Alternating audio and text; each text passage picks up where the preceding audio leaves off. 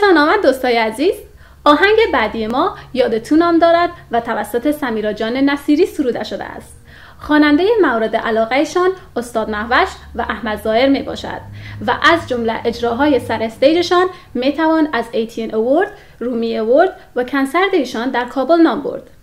ای هم آهنگ یاد تو از سمیرا جان نصیری.